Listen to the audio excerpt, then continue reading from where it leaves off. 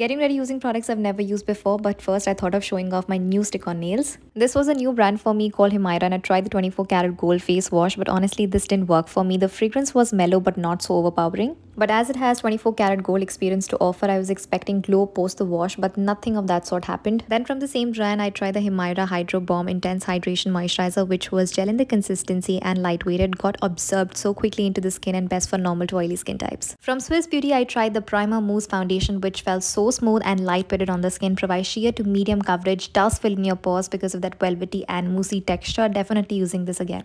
I had high hopes for this Sugar Pop Longwear Kajal in black but can you guys see it literally dispersed no pigment. I tried make it work but overall it was disappointing. Last but not the least I tried the Nykaa Matte Tattooed Liquid Lipstick in the shade Compass which comes with a lip defining applicator. Available in 10 shades and you have to dunk multiple times to cover your lips. Transfer proof comfortable matte formula. So yeah that's about it. Don't forget to share your views through comments.